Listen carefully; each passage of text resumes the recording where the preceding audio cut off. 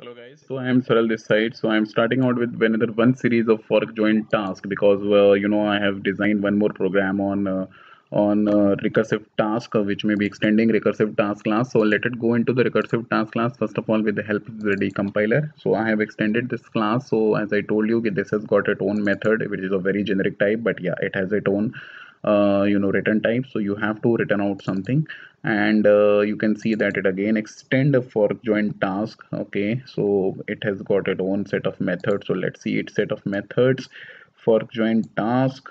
So yeah these are the again the example methods. So this is something same which i have explained you into my the previous video that you might have gone through. So so let begins again it extends fork join task it against future. So this is something which is a decompiler is very really helpful for you to look out into what is the method signature into it so that you get an idea. So basic thing is that it's a recursive task. It may be returning it out uh, and result okay and of the compute value which is may again of a generic type as you can see. And uh, I have already shown you the uh, where I have shown you I have shown you in the, my section that uh, you know the recursive task when i was explaining you a bit about the recursive task so i have told you that uh, returns a result whose type is specified by parameter v. So again it is of a very generic one. That's what i mean to say and that's what i have shown you in the decompiler about it.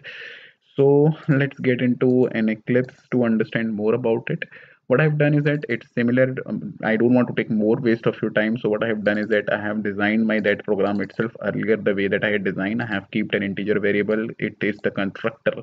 But the trick that I am playing it is in the compute method now because now the compute method is returning a result. That's what I have seen about the compute method. If you hover your mouse it will show you that it is returning uh, a result. Okay so the computation may be performed by this task. Okay so here what i'm saying that if any task which which threshold value it is greater than 100 then only we will execute the parallel task. And if it is not greater than 100 then then we say that we don't need the task to be divided into subtask and then to be assigned a parallelism funda to it. Okay. So let's believe that if suppose a threshold value it is greater than 100 then what we are doing is that we are simply again dividing this class into the sub two instances we are dividing the work into two and then we are creating the subtask here okay? And one subtask are processed independently they may be returning a result because we have implement, implemented the future interface and then we are combining the result of the very first task and very second task into this solution variable. They may be returning integer value as i told you and then we are returning that solution. And the same funda I have applied in my main class also where I have initiated the pool. This is the same thing that i have done as the earlier but the constructor that i have used is of overloaded where i am deciding it out how many number of core processors that is available with me. The same funda that i've explained you here in this diagram that if the tasks are coming then each subtask assigning to the different core processors and then they will be working it. The funda of this is about to have lex context switchings okay? And then I have instantiated my this class and then I have started calling invoke method by passing this. So let's see the outcome of this uh, without wasting much of time. So here I am initiating with 120. So as I told you, it is greater than 100. So I'm expecting some parallelism to be happen.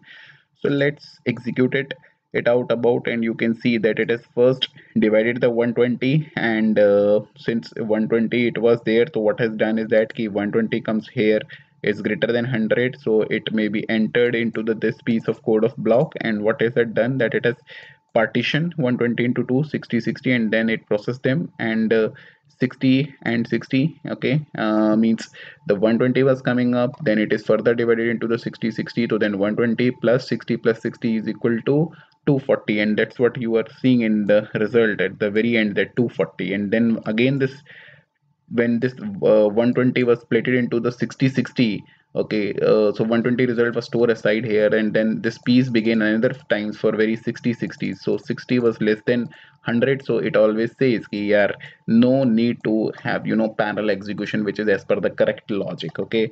So that's what you are seeing. And here what we have done is that key the interesting thing that you have to watch is here the result of after forking these two and then we are getting the uh, you know the return type and then we are joining it again and then we are getting the combined result. So that's what i wanted to show you that it is giving you the 240 as a result so now you may be a bit clear about a recursive task. It is similar to the recursive action but it is returning a value. That's what i wanted to communicate and that's what i wanted to show you. Here it is recursive task is there. Okay we have uh, extended the recursive task class and then we are uh, you know uh, forking them and then we are again expecting them to return a result and then we are showing you the combined result of the answer is because is the 240 is here. So guys fork and join is something a very interesting thing is of dividing the big problem into small task and then getting it out result. So it's something like task into subtasking into subtasking and then aggregating the result and then joining them as a final result. So this is what is happening it out in a fork join framework. So guys this is all about fork join framework. Do watch my videos in a sequence order to grasp it more. And yeah please keep postings me or uh, things on linkedin. I am exclusively posting it out a lot of articles on linkedin to help you out much better. And i will be coming up on a lot of concurrency articles for you guys to come up and later on in some of fork join merge algorithm for you guys especially so thank you and uh, have a great weekend. Thanks thanks